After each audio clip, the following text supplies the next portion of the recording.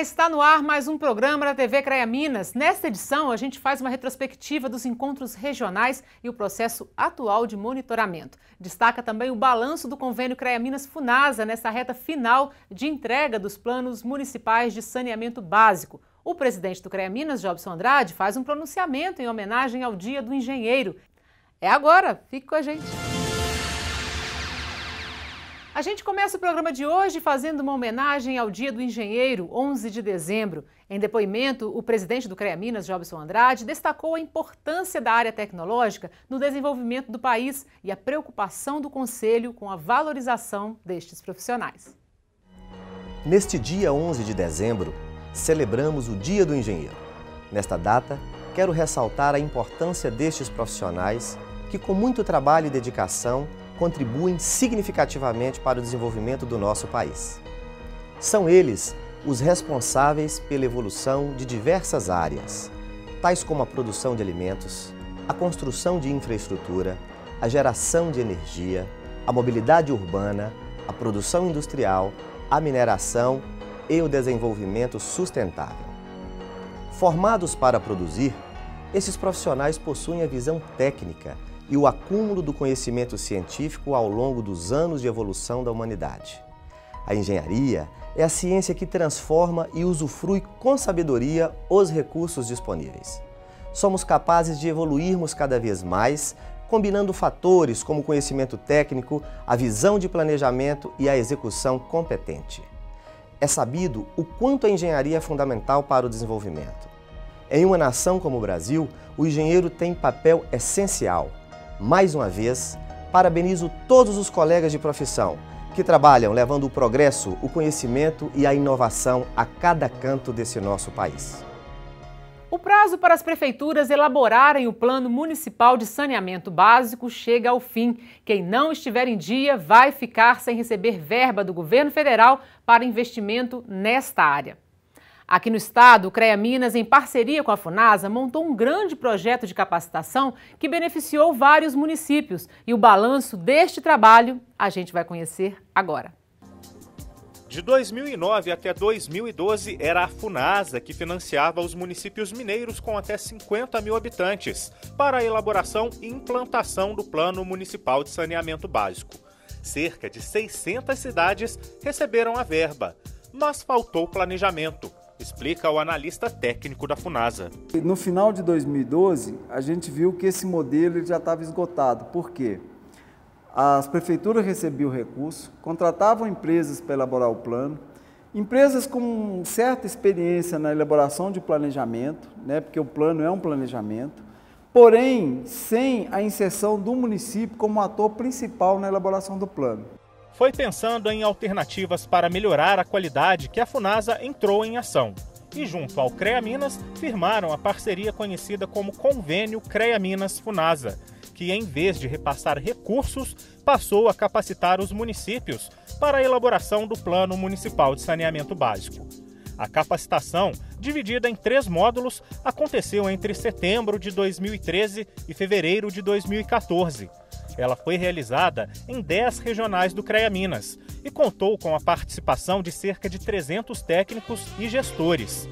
Segundo o analista técnico da FUNASA, a etapa capacitação foi um dos processos mais positivos que o convênio alcançou. Por outro lado, a questão dos prazos para a entrega do Plano Municipal de Saneamento ficou a desejar. Com o decorrer do tempo, com essa questão do adiamento do prazo, perdeu aquele impulso inicial, aquela vontade inicial, e aí os municípios foram aos poucos é, se sentindo assim desestimulados, né? Os técnicos que estavam envolvidos, eles têm outros afazeres, e aí a coisa foi perdendo aquele ritmo inicial. E a questão da prorrogação do prazo, ela é só para ter acesso a financiamento de obras de saneamento através do governo federal. A lei estipula que existem outras obrigações que os municípios eles não estão atentos a isso. Aqui na TV CREA Minas você acompanhou exemplos de cidades como Iguatama, no centro-oeste mineiro, que não perdeu tempo. Foi um dos primeiros municípios a elaborar o Plano Municipal de Saneamento Isso graças às capacitações oferecidas pelo Conselho. Essas capacitações vieram acrescentar, assim, no sentido de que foi muito prático. As meninas colocaram, assim, muito, muitos exercícios para a gente fazer na sala, que, que esclareceu muita coisa, que, que adiantou no processo. Uhum. Né? Eu já não precisei ficar estudando, porque elas já clarearam, o treinamento clareou bastante para mim, eu já pude ir mais direto. 26 associações, 11 consórcios e 53 municípios foram capacitados. Só que o resultado foi além. De acordo com o gestor do consórcio por parte do CREA Minas, direta e indiretamente, 460 cidades receberam orientações para a elaboração do Plano Municipal de Saneamento Básico. Renato lembra ainda que estavam disponíveis 3 milhões de reais para as capacitações e que houve a economia de 1 milhão de reais. O balanço até agora é considerado positivo. 55 planos estão prontos, comemora o gestor. Relevante pelo universo de municípios que nós participamos e dentro do universo de municípios que fizeram realmente, via bacias, comitês de bacias, a contratação de empresas terceirizadas. Ou seja, 55 planos que foram enviados, que a prata da casa da prefeitura elaborou e concebeu esse plano apoiado, capacitado e apoiado pelo Conselho a partir do convênio. O gestor ressalta que um dos pontos a ser aprimorado é a capacitação à distância. Só assim, mais cidades poderão ser beneficiadas. Para os municípios que ainda não entregaram o plano, ele orienta. O, o que a gente recomenda é sempre estar utilizando o nosso material didático, que foi amplamente distribuído para todos os participantes. O material didático também foi colocado no site do CREA, de estar utilizando como fonte de referência é, é, e estar conversando principalmente com as associações e consórcios intermunicipais, ou seja, está procurando, é, a partir do, da finalização do nosso convênio, essas associações e consórcios que serviram de multiplicadores, ou seja, o conhecimento ele foi difundido em todo o nosso estado. Então, é, no nosso entendimento, nós cumprimos a nossa missão e agora os multiplicadores é que vão auxiliar todos os municípios a partir desse momento.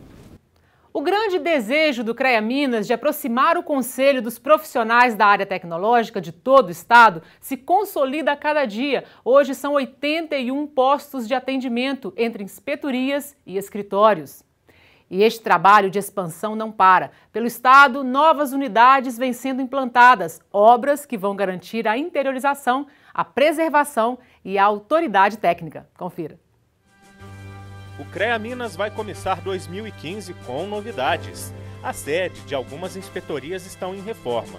O prédio de Itaúna deve ficar pronto já em fevereiro e o de patrocínio no início de março.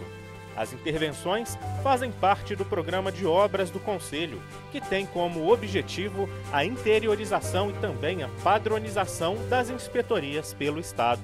As regras de acessibilidade são todas, é, estão todas respeitadas, o atendimento vai ser padronizado com a construção seguindo um padrão é, é, único que inclusive favoreça as, as as reformas e manutenção, prover de manutenção, uma economia de, de energia, de, de, de, de, tudo isso. Uma das grandes novidades é a Inspetoria de Santa Luzia, na região metropolitana.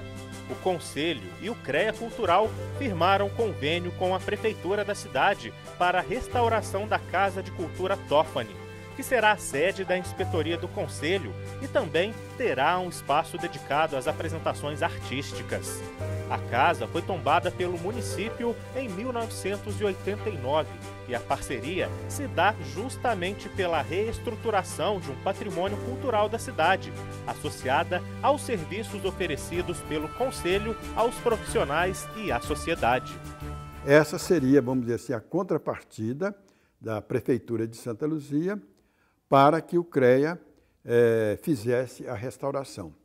No caso específico aí da, da Casa Toffani, o problema é que ela não vai ser, é, não, não será apenas a restauração desta casa, mas também, além da restauração, será feita a construção de um auditório e de um que vai servir, né? não só de, tem um auditório, um, vai ser um prédio que, além de ter o auditório como parte principal, tem também salas que servirão de arquivo e outras outros é, objetivos da Secretaria de Cultura de Santa Luzia. Em Alfenas, a licitação já foi feita. Estão em processo de orçamento a reforma das inspetorias de Varginha, Governador Valadares e Divinópolis. As sedes de Passos e Itabira também estão nos projetos do Conselho para 2015. Mas o programa de obras não para por aí. A sede em Belo Horizonte também deve receber melhorias. Do subsolo 1, hoje existem lá um auditório grande e o salão de festa, salão nobre. Esse auditório vai ser totalmente reformulado, com aumentar 100 lugares, vai partir, vão ter 300 assentos. Ao lado dele existe um desativado que nós vamos refazer. Então vão ter dois auditórios, um com 100 lugares e outro com 300. O salão de festa será totalmente reformulado também, com um, um sistema de ar-condicionado exclusivo para esse subsolo. Esses três salões vão ter um ar-condicionado separado que vai possibilitar o atendimento independente do, do resto do prédio. A parceria do CREA Minas com a Agência de Desenvolvimento da Região Metropolitana de Belo Horizonte dá mais um passo na promoção da mobilidade urbana. Uma capacitação de planejamento de trânsito na cidade administrativa reuniu representantes de vários segmentos. O treinamento faz parte do trabalho da Câmara Temática de Mobilidade Urbana em parceria com a Agência de Desenvolvimento da Região Metropolitana de Belo Horizonte.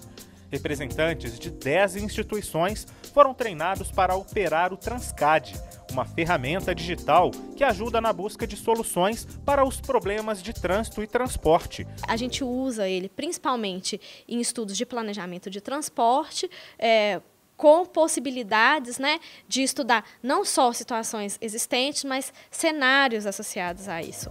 Os participantes representam as esferas municipal, estadual e federal.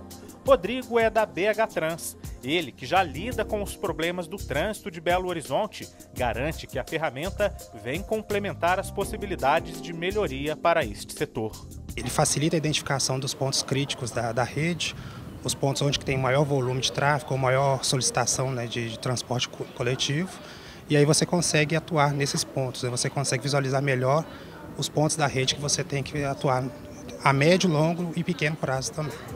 Adrian, da Secretaria Estadual de Transportes e Obras Públicas, também está interessado em conhecer bem o software, que irá ajudar nos planejamentos de transportes. Vai ser muito importante porque a gente vai poder é, compilar os dados né, e extrair informações através desse software que vai auxiliar a gente a fazer o planejamento, né, indicando os melhores caminhos é, para soluções que a gente deseja implementar. Representante da CBTU, Companhia Brasileira de Trens Urbanos, o Birajara entende o programa como uma possibilidade de enxergar melhor os problemas. Na CBTU, isso vai, vai ser interessante para a gente dimensionar é, as linhas de ônibus que alimentam nossos terminais de ônibus, para poder discutir mais em, é, em pé de igualdade com os órgãos gerenciadores desse, desse serviço em Belo Horizonte e na região metropolitana. O software desenvolvido por uma empresa internacional exige máquinas avançadas. Por isso, os computadores cedidos pelo CREA Minas nesta parceria com a Agência de Desenvolvimento da Região Metropolitana foram fundamentais no processo de implantação do projeto e agora no treinamento de pessoal. O CREA tem um importante papel aí no intuito de fazer com que uh, os dados primários na área de mobilidade possam ser referências na produção de planos.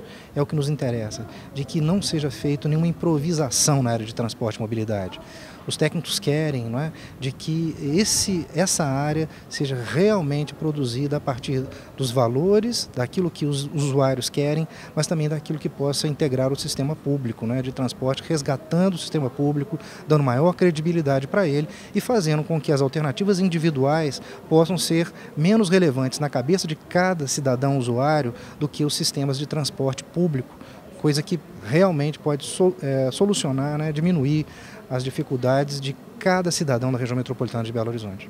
O intervalo é rapidinho, a gente volta já. Existe uma área da engenharia que cuida da mais essencial das nossas necessidades. Ela está em cada etapa que envolve a qualidade e a produtividade das nossas lavouras, rebanhos e produtos agroindustriais. A agronomia. Ela também estuda o uso sustentável da nossa flora e fauna e atua na preservação do meio ambiente.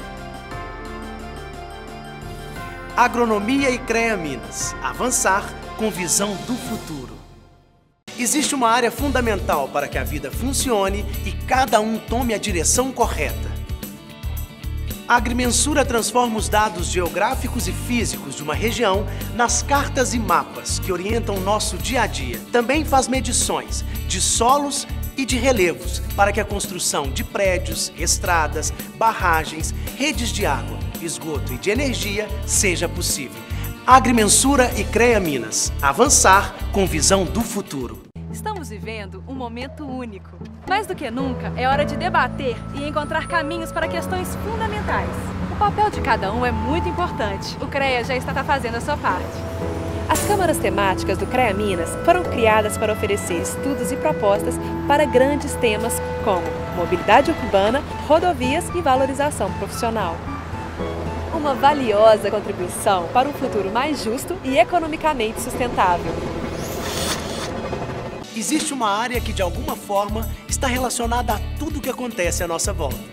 Ela projeta e executa edificações, pontes, viadutos, estradas, barragens e toda a infraestrutura urbana. Seu trabalho também é fundamental para proteger o meio ambiente dos impactos causados pelas atividades humanas. A engenharia civil é a concretização de muitos dos nossos sonhos.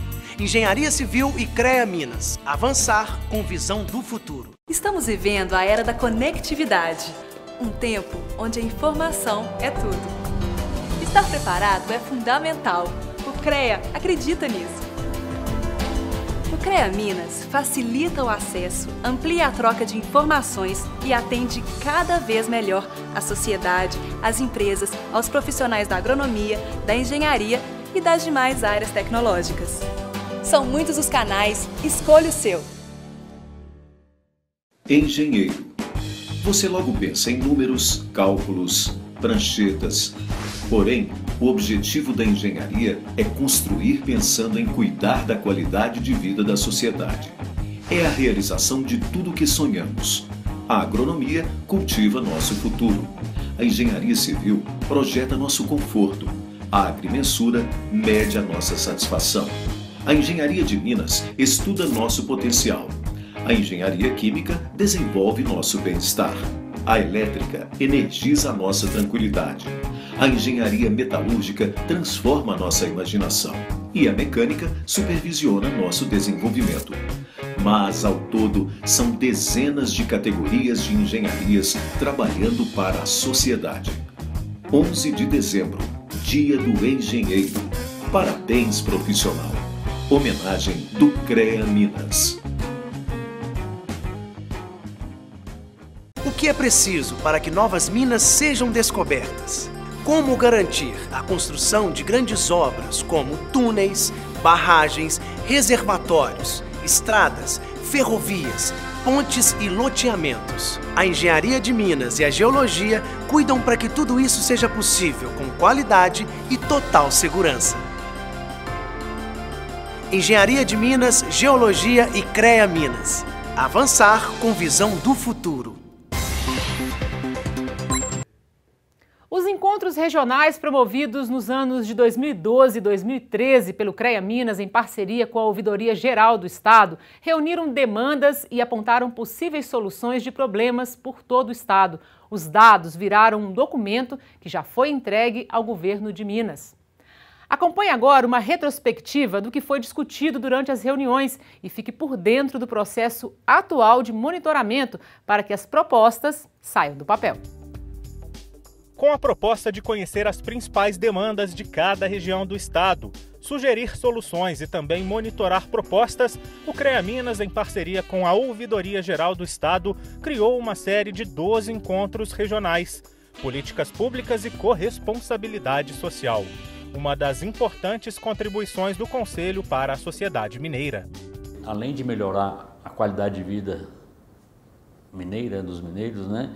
É uma oportunidade que foi dada aos mineiros de estar discutindo os problemas que afligem a toda a sociedade. Porque à medida que a população vai crescendo, né, os problemas vão crescendo também. E esta importante contribuição se consolida nos números. Foram 60 reuniões preparatórias que envolveram em torno de 6.500 participantes em 77 palestras. No total, foram apresentadas 1.248 propostas, distribuídas entre os cinco eixos temáticos discutidos durante os encontros. Alimentos, 205 propostas. Impactos da chuva, 147. Meio ambiente, 289. Rodovias, 301 e urbanicidade, 306 propostas. E esses principais, eles praticamente focam todos. Por exemplo, queria discutir segurança, mas segurança está muito focada na cidade, né? O problema, os outros, todos os assuntos são interrelacionados. Não quer dizer que um assunto ele é ele é abrangente, por exemplo, alimentos, alimentos, as estradas impactam os alimentos, a produção dos alimentos, entendeu? Então tudo interligado, sabe? Então o assunto, essa os eixos temáticos facilitou um pouco a discussão, dirigir um pouco mais e focar um pouco mais. O projeto foi dividido em duas etapas. A primeira das reuniões, que resultaram na elaboração de 12 cadernos de propostas, entregues no fim de 2013 ao então governador de Minas, Antônio Anastasia, e também repassados às prefeituras, aos profissionais registrados no conselho e aos inspetores. A segunda fase, que começou este ano, é a de monitoramento para Maurício Fernandes, cabe agora ao Conselho monitorar e, principalmente, cobrar das autoridades nessa fase de transição do governo que as ideias saiam do papel e possam ser colocadas em prática. Então, todos sabem quais são os grandes e reais problemas do nosso Estado. Então, com essas propostas, vão poder fazer planos de governo, estudar, saber o que, que tem que ser feito para melhorar a qualidade de vida do nosso Estado? Sabe quais são os problemas, os problemas que estão impactando o nosso Estado? Então, essa foi uma grande contribuição que foi dada. E agora, nós precisamos agora de começar a acompanhar a execução dessas propostas, como que vai fazer, sabe? E começar, é, e o grande é, vantagem também, nós precisamos de começar a mobilizar a sociedade de uma maneira de que todos comecem a cobrar também, não só o CREA, mas toda a sociedade começar a cobrar do governo a execução dessas propostas, entendeu?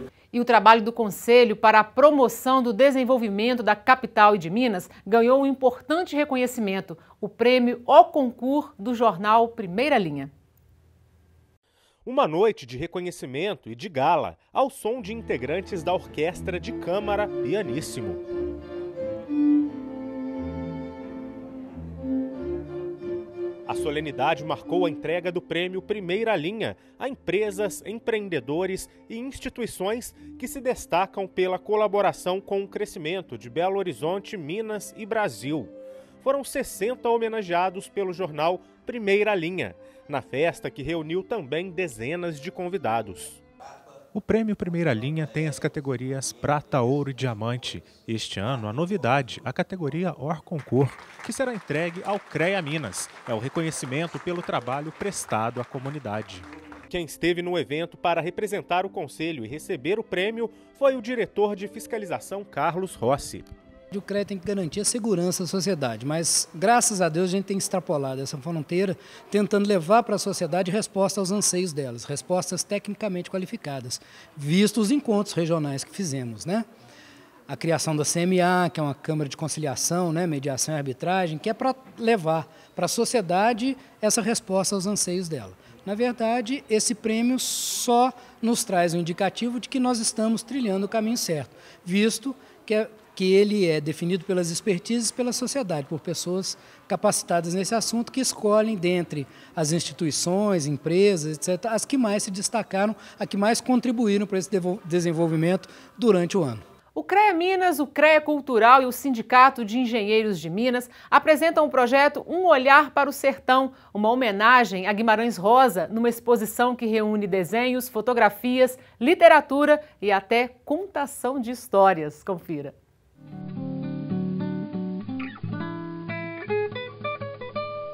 Um olhar para o sertão, homenagem a Guimarães Rosa. Este é o nome dado à exposição. as obras do autor foram retratadas em pinturas, desenhos, fotografias e bordados dos artistas Adriano Alves, Luan Dias, Silva de Melo Furtado, Rosimeire Ririco Saco e do grupo Estrela do Sertão de Cordesburgo. Além da exposição, o público contou com palestras, debates e um momento dedicado à leitura para a narração de contos.